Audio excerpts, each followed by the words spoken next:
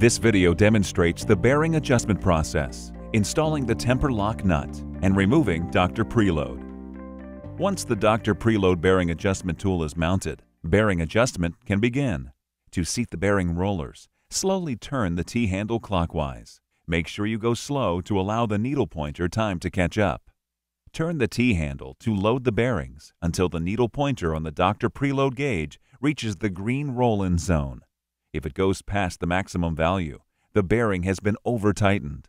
To seat the bearing rollers, spin the hub at least three full turns in any one direction.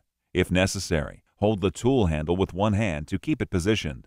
The load may drop slightly when rolling. This is normal.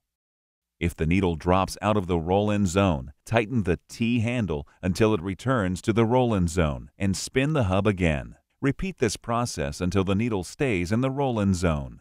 Do not spin the hub again after this step. If this occurs, remove Dr. Preload and start the entire process over by preparing the wheel end for bearing adjustment. To set the bearings, loosen the T handle turning it counterclockwise slowly until the needle pointer reaches the 1000 pounds force hash mark. Keep in mind not to go past the set point. If the set point is overshot, go back to the beginning of the bearing adjustment procedure to seat the bearing rollers. To lock the bearing setting, rotate the tempered lock nut clockwise until the back face makes light contact with the bearing. Determine if the dots on the face along the top of the Temper-Loc nut are aligned with the hash marks on the top section of the circular key finder. It is important to be directly in front of the Dr. Preload tool looking straight down the circular key finder. Due to normal visual distortion, if the user is not directly in front of the Dr. Preload tool and is looking from the left or the right towards the circular key finder, it will appear that the dots and hash marks are out of alignment. When the dots line up with the hash marks, this step is complete.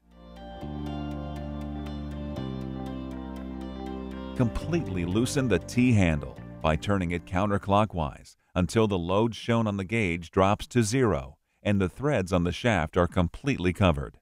Hold the gauge guard handle to support the weight of the tool and loosen the star handle turning it counterclockwise. When the tool is unattached from the spindle, gently rotate the Dr. Preload tool until the two load arm tips are positioned over two flats of the nut and pull straight back.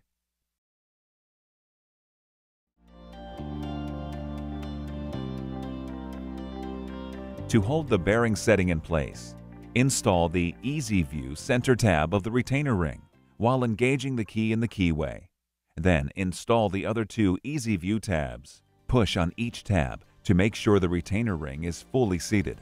The Easy View notches on all three tabs must be completely hidden in the groove of the nut.